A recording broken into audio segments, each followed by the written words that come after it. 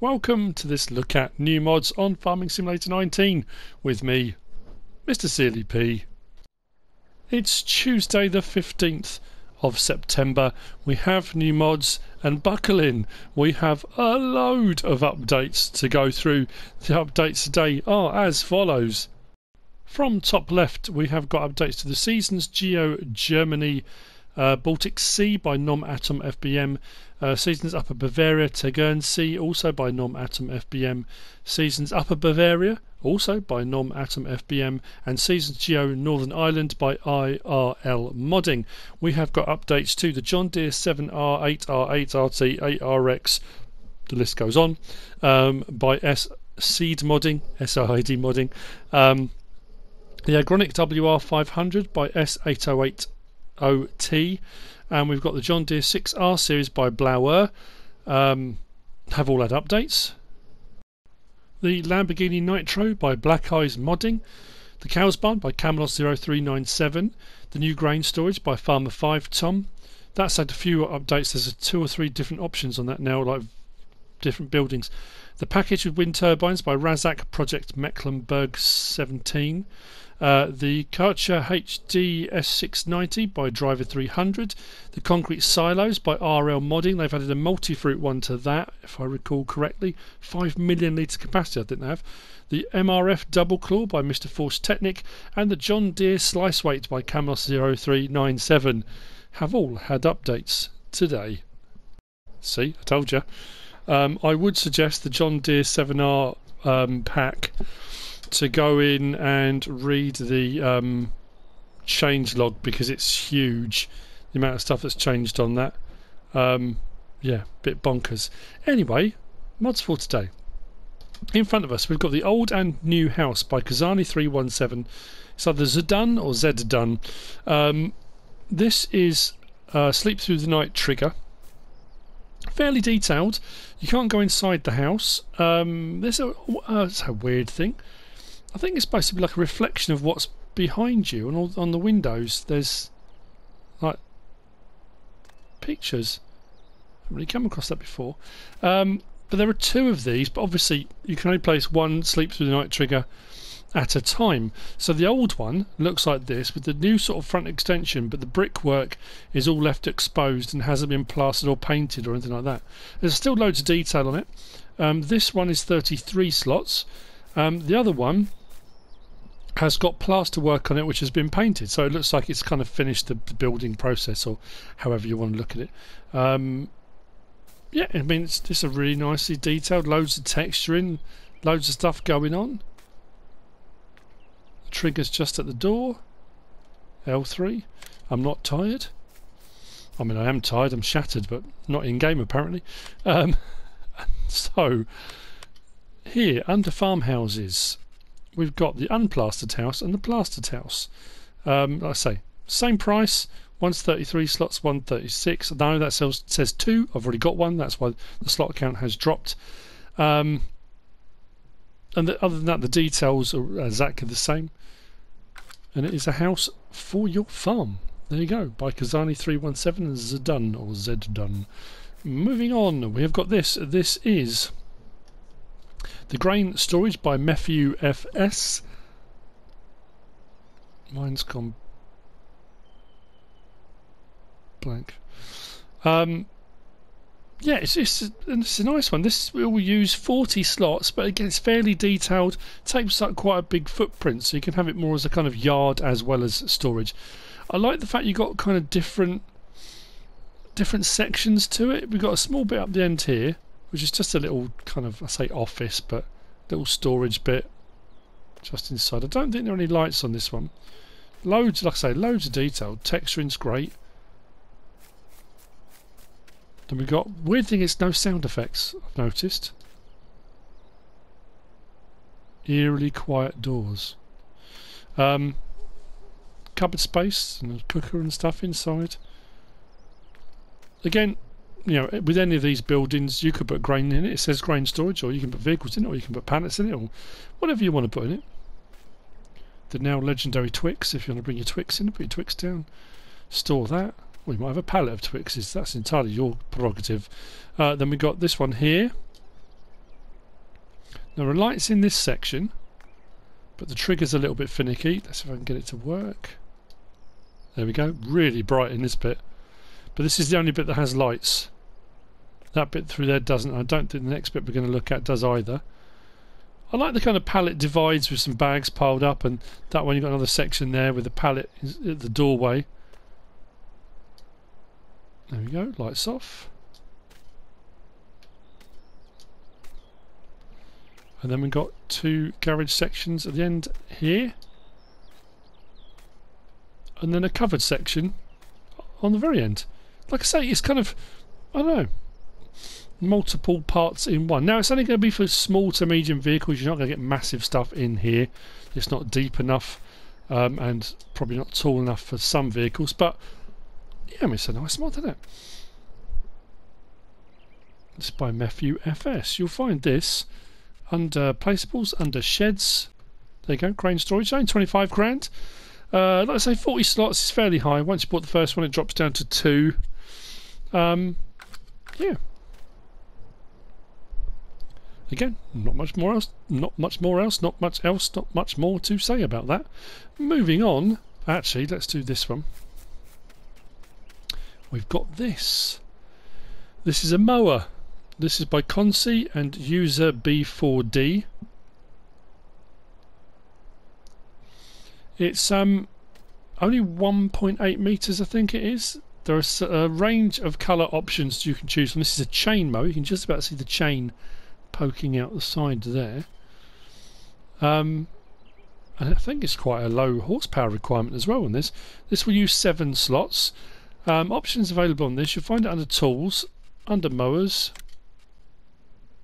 There we go. Uh, Koziaka. Does that mean mower? I'm not too sure.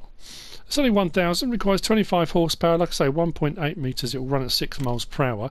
Now, options available, you can see the chains underneath there, look that will flail out and cut your grass. Don't put your hands underneath there. Um, so main colour you can pick for anything on this palette, like so. So you can have a brand new, lovely, all super duper, whatever colour you want. If you go for the old configuration, which is rusty, it doesn't matter what colour you have. If you've chosen any of the main colours, rusty will give you that colour regardless. It again. It drives me mad when you can't go back up when you're in the menu. So I say if I go for yellow, then go down rusty, you don't get a rusty yellow. You just get that rust colour across the whole thing. Um, but for know, only a grand. Hook it up.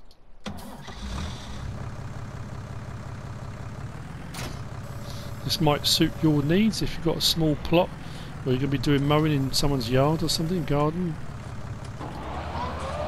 just see that there you go, the chains are starting to pick up speed.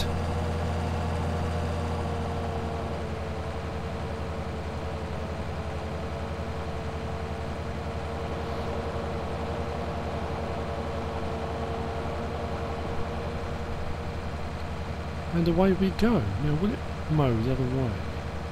Does it have to be moving forward? No, it will mow the other way. So I suppose technically you could put it on the front, couldn't you? Let's try. Don't see the reason why not.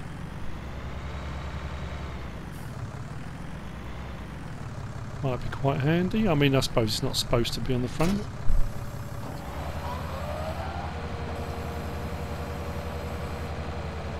Yeah, it will still mow.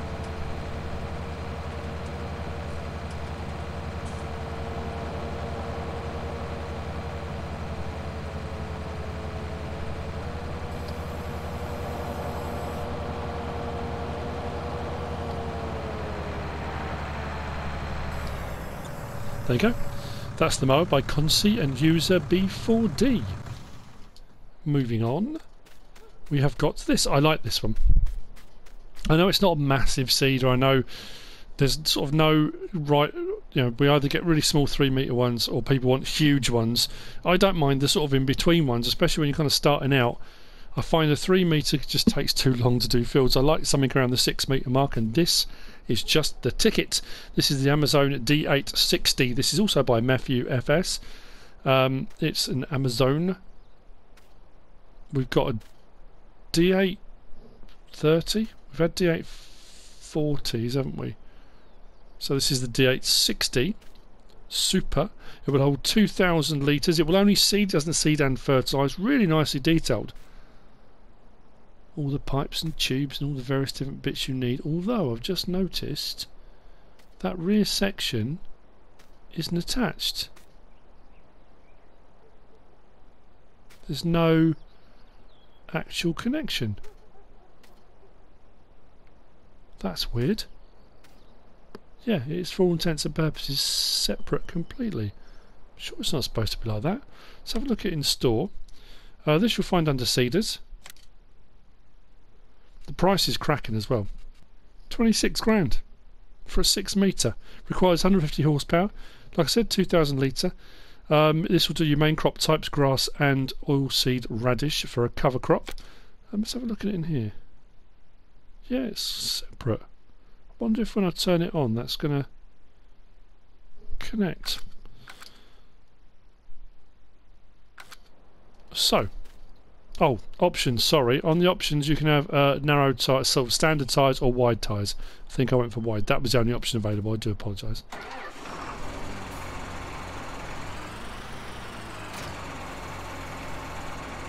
Uh, no, it's still floating, isn't it? Okay, well that's a bit odd. Anyway, um, we can open cover L1 and left on the D-pad opens the cover. Now I couldn't get this to fill up from the buy anything silo where it would drop into it. I had to do it with pallets because that's what I had. Um, but closed covers like so, nice smooth animation on that. Uh, we have ridge markers. Um, L1 and up on the D-pad does left marker, press it again, gives you your right marker. Press it again, brings them both up out of the way. I've got it on wheat at the moment, but L1 and triangle, you can scroll through different crop types. Turn it on. Drop it down. And away we go. That seems to be bouncing a little bit. Hmm. I like the fact it's six metres. Couple, maybe that we might need an update. I think possibly for that kind of floating rear section.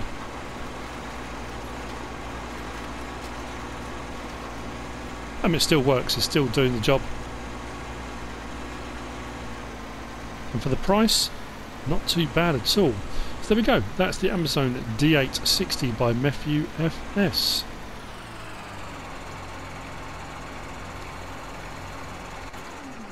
Which brings me on to the last of the mods for today. It's been quite, I mean, apart from that, the, the mental updates today, mods haven't been too bad. Well, say Tuesday. spoke too soon. You know what's going to happen. It's going to go absolutely bonkers. Um, this is the lizard slash brow. I would say Browen, Browen or Bruffen. I think it's Browen. Um, 22 foot silage trailer by 4D modding. 4D modding puts out cracking stuff. Whenever, whenever mod comes out by 4D modding, you know it's going to be loads of detail, really crisp, nicely done. Um, Broughan Engineering that makes these trailers is based in County Carlow in Ireland. Um, this is just really nice, but obviously on console you have to come out with the Lizard brand, but it's a Broughan trailer. Um, triple axle, like I said, really nicely detailed. Does have a rear trailer hitch. I went for the Carlow number plate because you know, that's where they're from. Why wouldn't you? That's the standard version. I do even like the ratchet straps on the side. Look at that. Very nice indeed. That's your standard version. Um, and then that's in a kind of silage extension. Now it does say 22 foot silage trailer, but as you'll see when I hook up to these, um, that one I think I put corn in and that one's got potatoes in. So even in the full silage extension mode, it will take anything, it will take all of the crop types, which is really rather nice because in the smaller version, as you can see from the fantastic Easy Way system, 26,850 litres in the standard, and then in this one, whoop, we've got 30,850 in that one. Not overly expensive either, very cool indeed. So, options available under these. You'll have them on, on these. You'll have them under tools, under trailers, The Lizard triaxle, uh, 24,500. Uh, it will use 15 slots, which isn't too bad, and take all of those crop types. Options available. We can change the rim colour. There's quite a lot of options on this as well. We've got um, some mats and we've got candies. The candied. Look at that. I mean, it may not be your cup of tea at all, but um, yeah, some really nice options for mats and uh, main colour. Again, anything on that palette. Whoa, okay, that's an interesting kind of colour. Galvanised. That's a nice look. I do like a galvanised trailer. Don't know why. Peculiar, isn't it? Um, and then design colour is for your cover, if you have a cover and we'll see in just a moment. So we can have it in grain trailer format, which is 26,850, or we can have with extensions, which takes up to 30,850, adds 2,650 onto the cost. But even so, for a 30,850 trailer, 27,975. I don't think that's too bad at all. I'm going to go back to that option because we'll go to tyres first, it's so we can have the cover. Um, we've got Lizard, Michelin, Nokian, and Trelleborg. The Trelleborgs are just set standard on twin radial 560 R22.5s. Uh, the Lizards, we've got FL 550 60 R22 5s, and then we've got Road 385 65 R22.5s. Um, then I think we're back to this, the flotations again. Then under Michelin, we've got Ride Max 560s. We've got SHA2, SHA2 460 70s. We've got Balloons 460 70. Cargo XBib HD 560s, 525 65 R20s, and then back to the Ride Max. Uh, and then under Nokian we've got standard 380 R24 and then back to the Trelleborgs again. Um, design standard or add toolbox which is on this side. So no toolbox, toolbox. Then around the front there we can have add easy way which is what I showed you um, or you can have both for 2000 extra so you can have the toolbox and the easy way. And then we've got no registration. Now uh, with 4d modding there are a ton of registration plates. So again you go for all the irish ones. And then if we go backwards um, we've got a few american ones different states. Um, there's, yeah, there's a whole load to choose from in there. There's so many. It took me ages to go through, but there are a load. And then we got cover, no or yes. And as you can see, our design colour I went for orange just to make make it stand out. That's the colour of your cover. So those are your options available on the trailer. Um, now what we'll do is hook up. There's a couple of things I wanted to show you. I mean you've already seen the easy way which is rather cool. When you open cover L1 and left of the D-pad it takes a little while he says. There you go. Um, because I pressed it first I thought oh it's not working. Then I pressed it again. But what I did end up doing was I'd opened it and closed it again. Um, so closing it is rather quick. L1 and left on the D-pad. But opening L1 and left on the D-pad now. I suppose that's the simulation of it rolling up, you know, out of the way. But um, yeah, very cool. Lights, indicators. If we go through uh, extra lights, we've got that extra one at the back in the middle.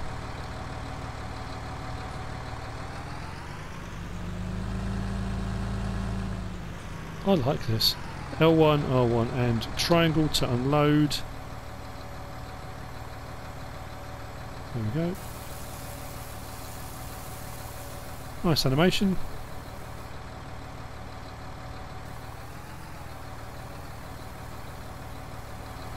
That's a high tip on that, isn't it? Look at the detail underneath as well. All the mud flaps and very nice. Leave that to lower. Now when you drop it off, it drops to the floor, but then the support raises itself up. When I first dropped off, I thought, oh, okay. I thought it dropped into the floor. Sometimes we've had trailers that do that. Um, but once it unhooks, I'll show you with this one. Obviously the silage extension one doesn't have a cover. So what we'll do is we'll hook up this other thing I wanted to show you. We hook up, then detach. It drops... Oh, that's interesting. I did it straight away. And that feels heavy. Right, detach. Right, so it drops to the floor, then it raises itself back up Nice. Very nice indeed. So there we go. That's the Lizard slash Brown 22 foot silage trailer by 4D Modding. And that's it for the mods for today. I hope you found this useful and informative in some way, shape, or form. If you have, give us a like. If you don't subscribe yet, please do. If you want to leave a comment, feel free. And if you want to share this video, then please be my guest. Whatever you should choose to do. Thanks for watching.